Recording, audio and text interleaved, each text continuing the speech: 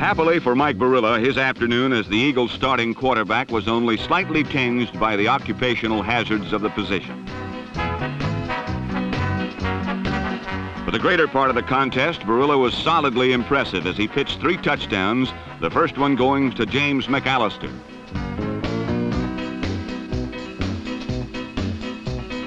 On the Eagles' second touchdown drive, Boryla to Harold Carmichael teamed up four times to cover 67 yards.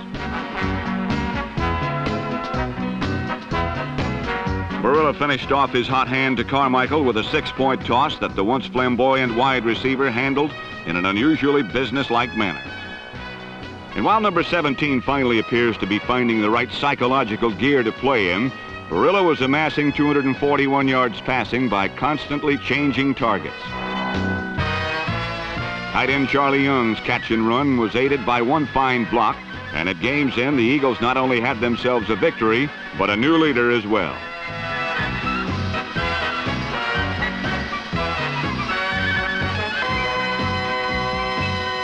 Out in the deluge of Cincinnati, the Houston Oilers found themselves sliding in desperation.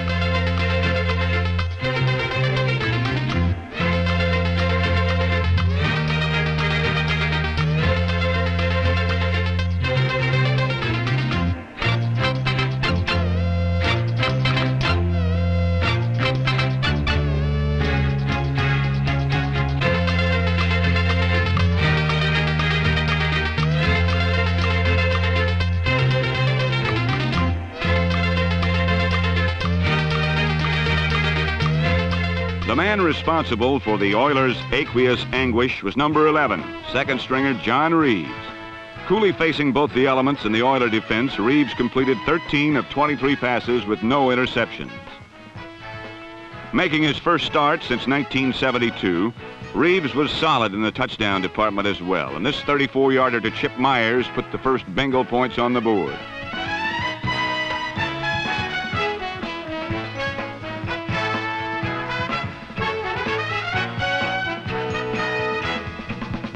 A repeat reveals that Myers' subtle move on Houston free safety Bob Atkins was all the slippery conditions required to trip up the defender and put Myers in the end zone.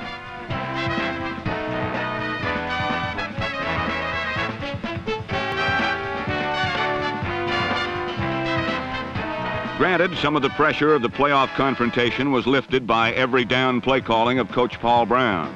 But the execution was up to Reaves, and his second touchdown to Myers was all any coach could ask for.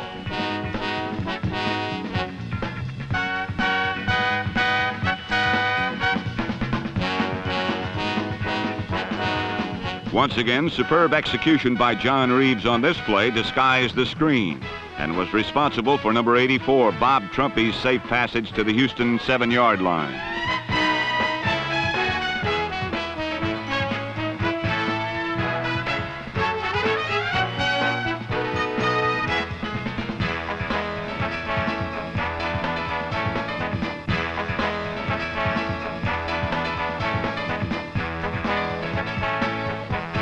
Once down close, plain old gutty running by number 33, Stan Fritts took over, where execution left off to give the John Reaves-led Bengals a 23-point afternoon.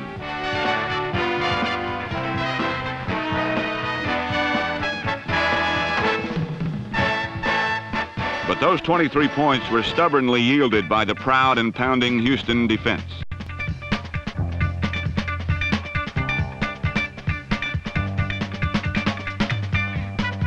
Indeed, the Oiler defense put its own points on the board when number 52, Robert Brazile, blocked a punt for a safety late in the game.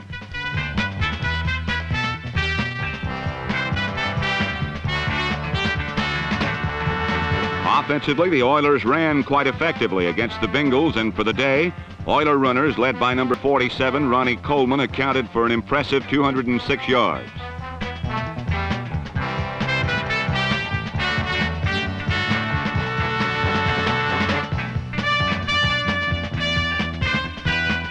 But the crucial difference between the two teams was in the passing department. In the first half, Dan Pastorini was minus three yards passing and wound up the day with but 10 completions in 34 attempts.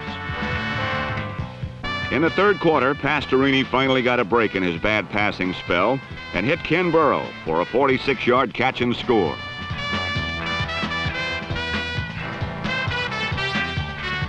A repeat reveals a superior effort by Burrough, but the bottom line clearly read that the Oilers' playoff hopes were dashed as the far more effectively executing Bengals prevailed 23 to 19.